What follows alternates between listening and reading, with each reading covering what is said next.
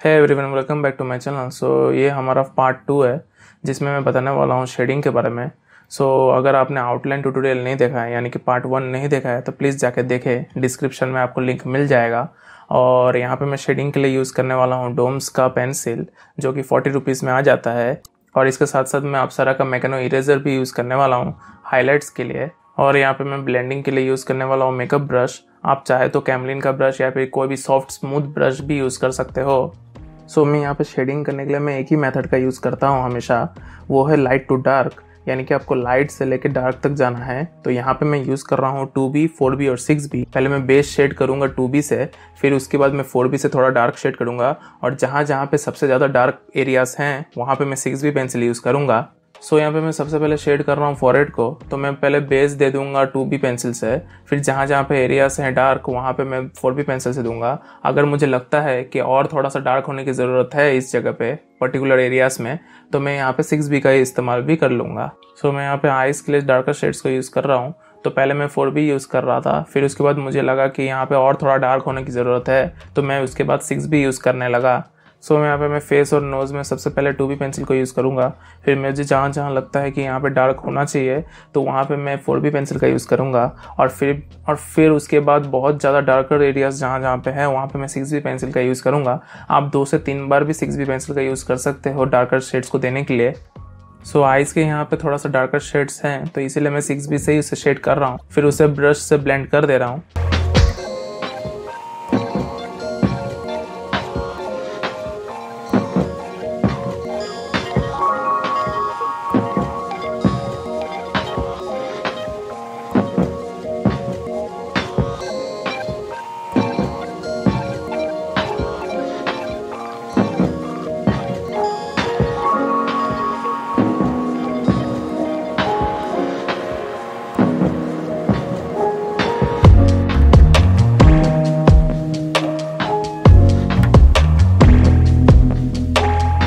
Reference photo में right side वाले nose area में थोड़ा सा डार्कर शेड्स है तो आप देख सकते हैं कि मैं यहाँ पे सिक्स बी पेंसिल का इस्तेमाल कर रहा हूँ डार्कर शेड्स को देने के लिए।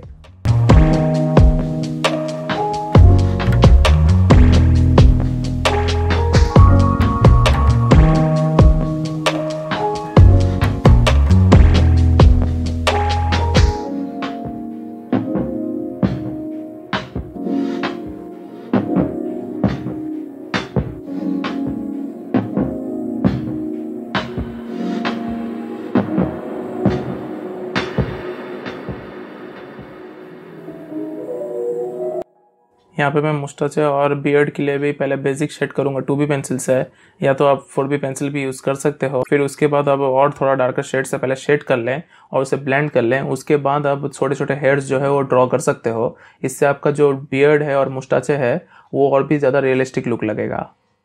जैसे कि आप देख सकते हो कि मैंने यहाँ पे पहले बेसिक शेड किया टू बी पेंसिल से फिर उसके बाद मैंने फोर बी पेंसिल से उसका डार्क किया। फिर उसके बाद मैं यहाँ पे सिक्स भी पेंसिल ले रहा हूँ और यहाँ पे मैं हल्का हल्का मुस्टाचे और बियड में स्ट्रोक्स कर रहा हूँ।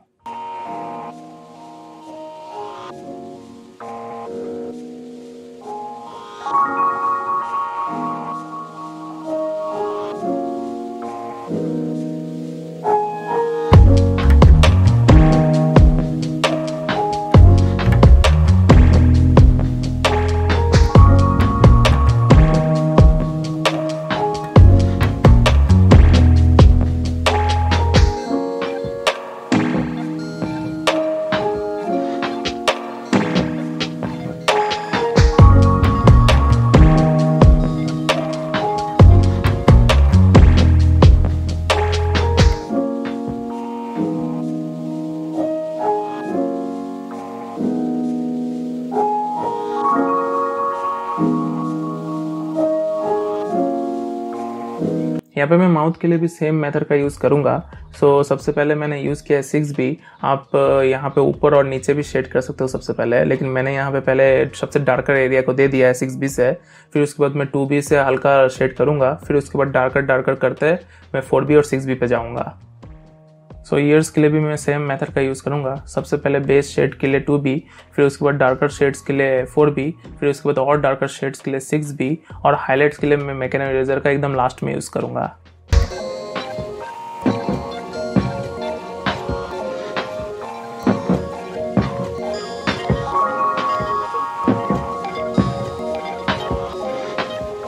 यहाँ पे मैं हेयर्स के लिए डायरेक्टली सिक्स बी पेंसिल का यूज़ कर रहा हूँ।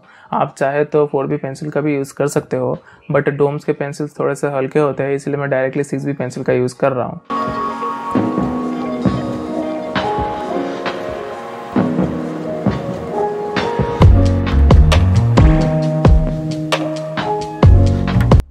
रेफरेंस फ़ोटो में जिस जिस डायरेक्शन में आपको स्ट्रोक्स मिले, उसी डायरेक्शन में आपको सेम टू सेम स्ट्रोक्स यहाँ पे देना है। स्ट्रोक्स देने के बाद अगर आप ब्लेंड करते हो, फिर उसके बाद आप डार्क एरियाज़ को भी उसी पेंसिल से देते हो तो और भी ज़्यादा रियलिस्टिक लुक आता है। यहाँ पे मेरे को जिस जिस डायरेक्शन में स्ट्रोक्स मिल रहा है, उसी डायरेक्शन में मैं स्ट्रोक्स को दे रहा हूँ, और फिर उसके बाद थोड़ा रियलिस्टिक लुक पाने के लिए मैं इसे ब्लेंड भी कर रहा हूँ।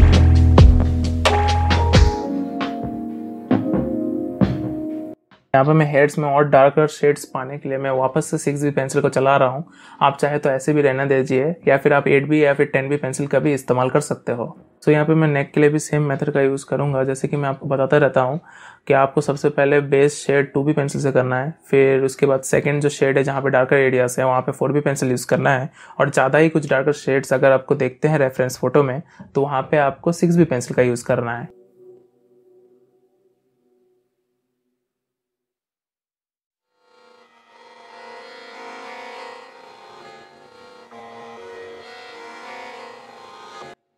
और मैं यहाँ पे टाई के लिए इस्तेमाल कर रहा हूँ सिक्स पेंसिल क्योंकि टाई एकदम ब्लैक कलर का है तो मैंने इसको थोड़ा हाईलाइट देने की भी कोशिश की है। यहाँ पे मैं कोट के लिए यूज़ कर रहा हूँ टू बी पेंसिल तो पहले मैं पेज शेड दे देता हूँ टू बी पेंसिल से। फिर जहाँ जहाँ पे शेडोस एरियाज़ हैं तो वहाँ पे मैं फोर बी पेंसिल से यूज़ करूँगा। जहाँ जहाँ पे डार्कर शेडो हैं, वहाँ पे मैं सिक्स बी पेंसिल का यूज़ करूँगा।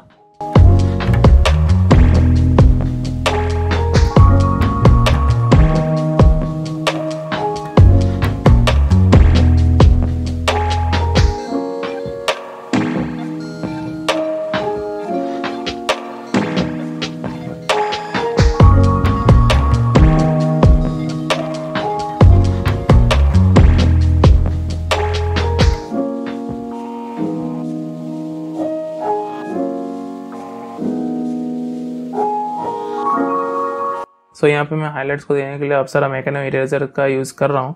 वैसे तो हमें हाइलाइट्स देने की ज़रूरत है नहीं बट फिर भी मैं यहाँ पे और रियलिस्टिक लुक पाने के यहाँ पे मैं हाइलाइट्स दे रहा हूँ।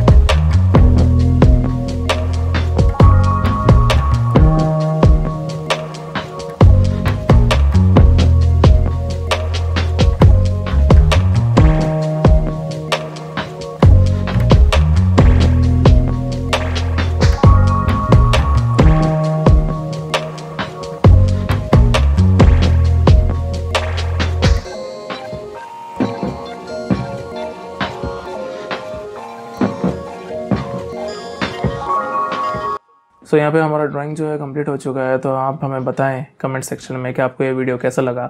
अगर आपको ये वीडियो अच्छा लगता है तो प्लीज़ इसे लाइक कर देना और अपने फ्रेंड्स एंड फैमिली मेंबर्स के साथ शेयर करना। और मिलते हैं नेक्स्ट वीडियो में। Thank you for watching